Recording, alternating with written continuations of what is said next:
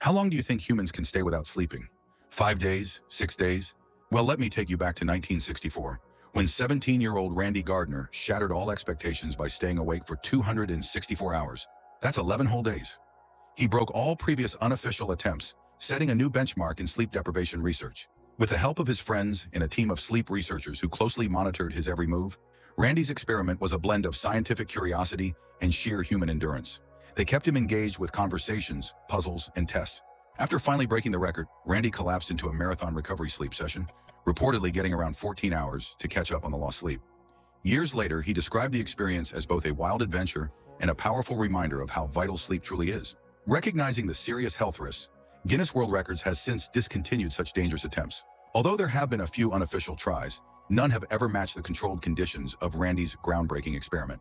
So next time you're tempted to pull an all-nighter, remember, your body needs those. Subscribe for more interesting stories.